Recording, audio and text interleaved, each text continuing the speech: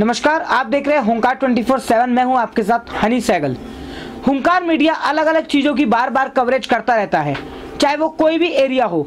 आज मेरे साथ मेरे चैनल पर मौजूद हैं सरिता विहार मार्केट से लेकर बदरपुर बॉर्डर की मार्केट के प्रेसिडेंट राकेश कोहली जी।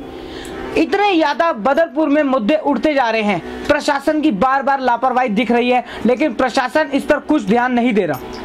राकेश कोहली जी के बारे में आपको बता दूँ, ये एक बहुत ही बड़े सीए भी हैं और समाज सेविक भी हैं। इनका खुद का एक एनजीओ चलता है। पहले मैं इनसे बदरपुर की विधानसभा में जो प्रॉब्लम्स होती जा रही है जिनके कारण जनता काफ़ी ज़्यादा परेशान है उन पर बात करूँगा। सर हुंकार 24/7 में आपका बहुत बहुत स्वागत है। थैंक यू सर आपका भी और आप सभी लोगों का बहुत बहुत धन्यवाद जो आपने हमें मौका दिया इसके लिए। सबसे पहले तो मैं बर, Bareja Sadan market welfare association का प्रेसिडेंट हूँ जिनको मैं रिप्रेजेंट कर रहा हूँ।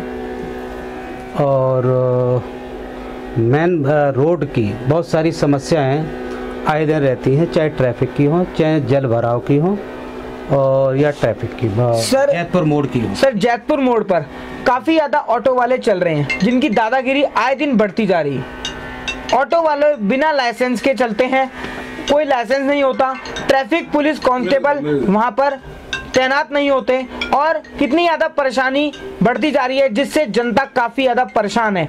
आप प्रेसिडेंट हैं मार्केट के। क्या आप कभी वहाँ गए हैं या आपको नहीं लगता कि प्रशासन की कमी है?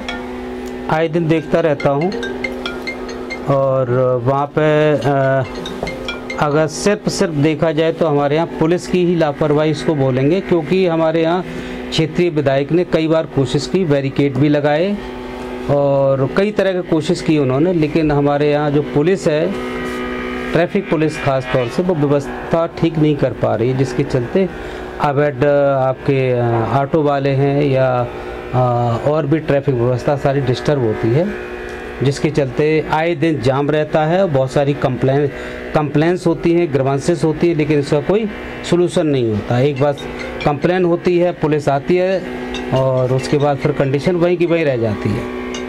तो ये आ, मेरा मीडिया के माध्यम से अनुरोध है इसको ज़रा आगे पहुँचाया जाए जिससे कि ये जैतपुर मोड़ की खास तौर से ट्रैफ़िक व्यवस्था में सुधार हो। दूसरा हमारा मुद्दा है बदरपुर बॉर्डर पर थाने के आ, बदरपुर बॉर्डर पे मेट्रो स्टेशन के पास पानी का बहुत जल भराव रहता है। इंदिरा नरसिंह है हमारे राम सिंह नेताजी। की नर्सरी है, उसके बिल्कुल सामने इतना पानी भरा रहता है कि हर वक्त पानी रहता है। जिससे वहाँ जाम भी रहता है, पूरा रोड पर पानी पानी रहता है, जिससे कि जो बच्चे मेट्रो से अंडरपास जितना भी करते हैं, सारे उस पानी से होकर निकलते हैं। सर, क्या आपने राम सिंह नेताजी को कभी ये रिक्वेस्ट लेटर डाला है कि वहाँ से या तो आपकी नर्सरी से जो पानी आता है, जिससे काफ़ी ज़्यादा बच्चे और काफ़ी ज़्यादा लोग वहाँ के परेशान हैं, कभी राम सिंह नेताजी के पास आप गए हैं इस मुद्दे को लेकर? नहीं राम सिंह नेताजी के पास जाने का मैंने कभी सोचा नहीं, क्योंकि राम सिंह नेताजी की नर्सरी है या किसी और की है, कभी सोचा नहीं मैंने, क्योंकि वो विधायक भी नहीं हैं। और ये basically national highway national highway authority of India का मैटर है। वही देखेंगे। राम सिंह नेताजी का इसमें कोई सर एक प्रेसिडेंट होने के नाते आपकी क्या क्या रिस्पॉन्सिबिलिटीज बनती हैं? आपकी क्या रूल्स एंड रेगुलेशन और क्या क्या ड्यूटीज़ हैं? पूरी विस्तार में जानना चाहते हैं सर देखिए बदरपुर बॉर्डर से लेके सरता बिहार के बीच में जो भी क्राइम्स होते हैं जो ट्रैफ़िक से रिलेटेड है जो हमारे दुकानदार भाइयों को जो असुविधाएँ होती हैं आए दिन जैसे आ, कहीं हम लोग मार्केट बदरपुर मार्केट में पार्किंग करते हैं वहाँ भी सभी लोग असुविधा में महसूस करते हैं कब ट्रैफ़िक वाले गाड़ी उठा ले जाएँ। दूसरा सीलिंग का जो मुद्दा पूरी दिल्ली में चल रहा है ज़बरदस्त चल रहा है। पूरा हमारा मार्केट एसोसिएशन के जितने भी लोग हैं सभी सहमे हुए डरे हुए हैं। कभी किसी भी वक्त सीलिंग हमारे यहाँ भी आ सकती जिससे कि हमारे दुकानदारों का व्यापार चौपट होने का हर वक्त डर रहता है। इसके अलावा जो व्यापारी वर्ग है जीएसटी से परेशान था नोटबंदी से परेशान था अब सी सीलिंग से परेशान है। इसका भी आपके माध्यम से इस चैनल के माध्यम से कहना चाहूँगा किसी इसका भी कोई ठोस उपाय देखा जाए चाहे कोर्ट हो चाहे हमारे सेंट्रल गवर्नमेंट के आ, अधिकारी हों सही सा इसका निवारण हो जिससे कि व्यापारियों को इसका रिलीफ मिले। सर आप एक सीए हैं। काफ़ी ज़्यादा नाम आपका हम सुनते रहते हैं। आए दिन न्यूज़पेपर क्लिपिंग्स में राकेश कोहली का नाम ज़रूर सुनाई देता है। आपसे सबसे बड़ा सवाल ये बनता है सर जब नोटबंदी हुई तो क्या कितनी जनता उससे खुश भी थी? काफ़ी जनता परेशान हुई। लेकिन नोटबंदी के आपका क्या कहना है नोटबंदी के ऊपर? क्या मोदी सरकार ने ये जो किया सही किया? मोदी सरकार ने जो नोटबंदी का डिसीज़न लिया लिया तो ठीक था। लेकिन वो प्रॉपर तरीके से इम्प्लीमेशन नहीं हुआ उसका। सही तरीके से लागू नहीं कर पाए, जिसके चलते लोगों को परेशानियाँ ज़्यादा हुई। उसका कुछ रिज़ल्ट सामने नहीं आया। जो आना चाहिए था, वो सपने वहीं के वहीं रह गए। सपने प्रॉपर रिज़ल्ट में नहीं तब्दील हुए।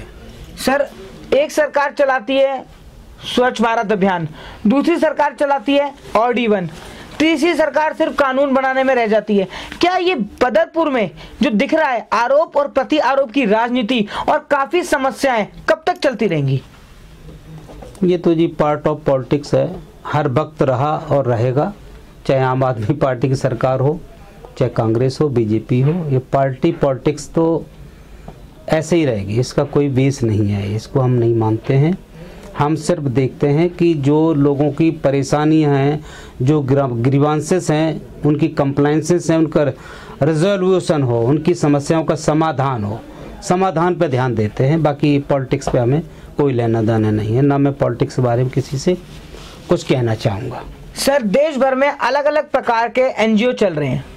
कोई महिला सुरक्षा के ऊपर काम कर रहा है, कोई बच्चों के ऊपर काम कर रहा है, कोई हैंडीकैप लोगों पर काम कर रहा है, आपका एक खुद बहुत बड़ा एनजीओ है, जो कि महिला सुरक्षा के ऊपर काफ़ी ज़्यादा ध्यान दे रहा है। महिलाओं के साथ आए दिन बदतमीजी, आए दिन छेड़छाड़, आए दिन गलत किस्से सुनने में लगे रहते हैं, चाहे वो इलेक्ट्रॉनिक मीडिया के माध्यम से हो या प्रिंट मीडिया के।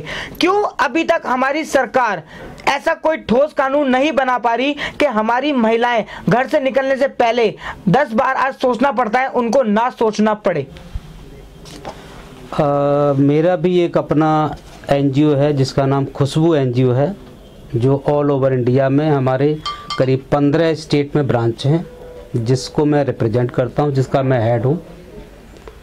इसके अलावा मैं एनजीओ में ये स, आ, आपकी सारी बहुत सारी समस्याएँ आती रहती हैं टाइम टू टाइम जिसमें फ़िलहाल जो हमारा मुद्दा चल रहा है, एक दिल्ली महिला आयोग की तरफ़ से जो हमारी प्रदेश की DCW chief Swati Maliwal ji बहुत ज़बरदस्त मेहनत कर रही हैं आज के टाइम पे।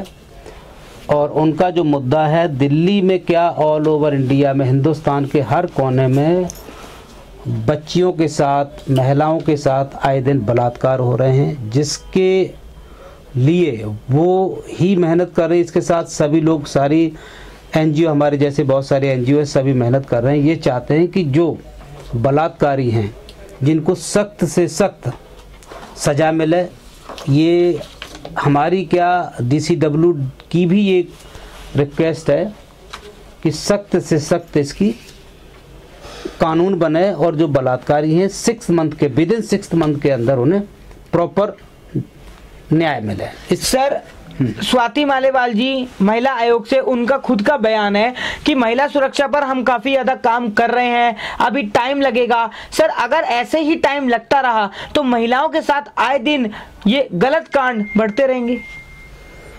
उसका एक रीजन है दिल्ली में बेसिकली दिल्ली पुलिस क्राइम को कंट्रोल करने के लिए दिल्ली पुलिस है और दिल्ली पुलिस हमारे यहाँ शॉर्ट है। दिल्ली पुलिस का दलील है कि हमारे पास स्टाफ की कमी है। ये फैक्ट उनके पास स्टाफ नहीं है, जिसके चलते क्राइम नहीं रोक पा रहे हैं। और क्राइम रोकने के लिए देखो, हर किसी को अवेयर होने की सख्त ज़रूरत है। हमारी एनजीओ वही काम कर रही है, गली में जाके, मोहल्ले में जाके जो महिलाएँ दबी, कुचली या उनके साथ अन्याय हो रहा जो अपनी आवाज़ को सही जगह नहीं पहुँचा पा रहे, सही प्लेटफॉर्म पर नहीं पहुँचा पा रही हैं, उसको हम लोग अपनी एनजीओ के बैनर पर ले आ रहे हैं जिससे वो जागरूक हों अपनी बात को, हमारे माध्यम से अपनी समस्या अवगत कराएँ जिससे कि हम आगे उनकी समस्या का निवारण के लिए संबंधित प्लेटफॉर्म पर उनको ले जाएँ। सर, आपका एनजीओ कितनी दायरे तक सीमित है? क्या वो नहर पार बदरपुर के वहाँ भी के लोगों को भी डील करता है? या सिर्फ़ नहर से पहले पहले जो कि ताजपुर पहाड़ी का रोड है, सिर्फ़ वहीं तक आपकी एनजीओ की महिलाएँ उस संगठन को देखती हैं? नहीं, हमारा NGO basically all over Delhi में भी है और पर्टिकुलर इंट्रोडक्शन नहीं है। पूरा दिल्ली के साथ साथ पूरे हिंदुस्तान में पंद्रह स्टेट हैं। चाहे हमारा दिल्ली हो यूपी हो, बिहार हो, बंगाल हो, पंजाब हो, केरल हो और आपका उड़ीसा हो, महाराष्ट्र हो, बहुत सारे राज्य हैं जिसमें हम ऑलरेडी काम कर रहे हैं। और जिसमें क्या है, सबसे बड़ी समस्या हमारे साथ है sort of fund short of fund हमें किसी गवर्नमेंट ने हमें किसी भी तरह कोई मदद नहीं मिलती। हम जो भी काम कर रहे हैं ऑन सोर्सेज से ही इसको चला रहे हैं, जिसके चलते जो हमारे स्टेट में अलग अलग स्टेट में जो हमारे ऑफिसेस हैं वो बेसिकली डंप है प्रॉपर चल नहीं पा रहे हैं, क्योंकि हमें कोई प्रोजेक्ट सरकार से मिला नहीं है। जो भी एक दो प्रोजेक्ट मिले हैं, जैसे अभी हमें दिल्ली डी सी डब्ल्यू ने एक हमें प्रोजेक्ट दिया है, महिला आयोग की तरफ़ से मिला है। इसके से पहले हमें एक national book trust of India ने दिया है। छोटे मोटे प्रोजेक्ट मिलते रहे, किसी ने पचास हज़ार दिया, किसी ने पचहत्तर हज़ार रुपये दिया, जिसके चलते हम इसको किसी तरीके से चला रहे हैं। आप आप सब लोगों के सहयोग से इसको चला रहे हैं सर हाँ। आपने बताया कि आपको अभी तक किसी भी गवर्नमेंट से कोई भी सहयोग नहीं मिला। बदरपुर क्षेत्र में आपका एनजीओ है। बदरपुर मार्केट के आप प्रेसिडेंट हैं। यहाँ के विधायक श्री नारायण दास शर्मा जी को इस बारे में नॉलेज है या उनके द्वारा कभी कोई सपोर्ट आपको दिया गया हो? नहीं विधायक जी को पता है और बुलाया भी है हमने। लास्ट लास्ट ईयर मैंने प्रोग्राम किया तो उसमें बुलाया था। उसके बाद हम लोग मिलने भी गए हैं। इसके अभी रिसेंटली हमारी टीम भी मिलने गई है और उनको चिट्ठियाँ वगैरह भी देते रहते हैं, जो भी समस्याएँ होती हैं, चाहे मार्केट की हो, चाहे एनजीओ की हो, चाहे सोशल हो, चाहे लीगली हो सारी इन्फॉर्मेशन हम टाइम टू टाइम देते रहते हैं विधायक साहब को। और ठीक है, ऐसी कोई दिक्कत नहीं, कोई शिकायत नहीं ना गिरबांसे से। ठीक है, वो एक्शन भी लेते हैं, ध्यान भी देते हैं। बाकी कोई शिकायत नहीं। सर, सारी बातें हो गई, लेकिन जो आपका खुद का प्रोफेशन है, जो फ़र्स्ट जॉब आता है, आप खुद एक बहुत बड़े लेवल पर चार्टेड अकाउंटेंट है। मैं आपसे सर ये जानना चाहूँगा, जो हमारी फ्यूचर जनरेशन आ रही है, बच्चे जो चार्टर्ड अकाउंटेंट का एक सपना देखते हैं कि स्टार्टिंग सैलरी पैंतीस से चालीस हज़ार होगी, हम सीए का कोर्स कर लेंगे। लेकिन कई जगह ऐसी होती है, वो सीए का कोर्स करने के बावजूद भी उनको एकदम से सैलरी इतनी स्टार्टिंग नहीं मिलती। इतना महँगा महँगा वो कोर्स करके अपने आप को आगे बढ़ाते हैं। क्या कहीं टेक्निकली दिक्कत आ रही है सीए की जॉब में? मैं बेसिकली सीए प्रोफेशन में हूँ, ठीक है ना? और सीए का जॉब ऐसा नहीं है कि जॉब नहीं मिलते। सीए एक बहुत बड़ा प्लेटफॉर्म है, बहुत बड़ा फ़ील्ड है। इसमें सीए बहुत कम निकलते हैं। निकलते हैं तो उन्हें जॉब तुरंत मिलता है। अच्छा जॉब मिलता है, कम से कम उनका जो स्टार्टिंग बेस होता है, लाख रुपए से प्लस ही होता है, इससे नीचे होता नहीं पहली बात तो सीए है नहीं, बहुत कम निकलते हैं। रेयर टू रेयर केस में कोई सीए बनता है। और सीए उतने ही बनते जितनी फ़ील्ड में रिक्वायरमेंट होती है। फ़ील्ड में रिक्वायरमेंट नहीं होगी सीए निकालते ही इंस्टीट्यूट हिंदुस्तान में तीन चार इंस्टीट्यूट ही हैं, कोई इनका कॉलेज नहीं, कोई कुछ नहीं है।